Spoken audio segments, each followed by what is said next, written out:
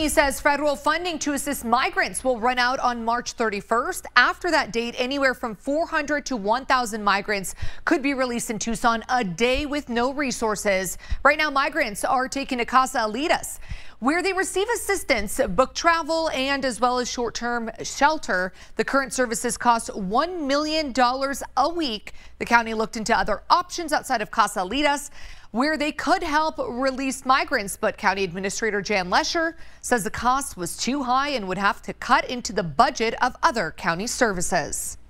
Any way you slice it, it's multi, it's multiple millions of dollars.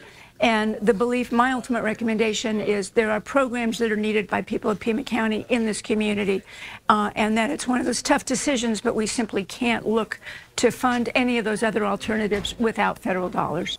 Lesher says the understanding is Border Patrol will drop migrants off at the Tucson Greyhound station just east of downtown. We reached out to CBP for confirmation on this location, but they were not able to confirm that at this time.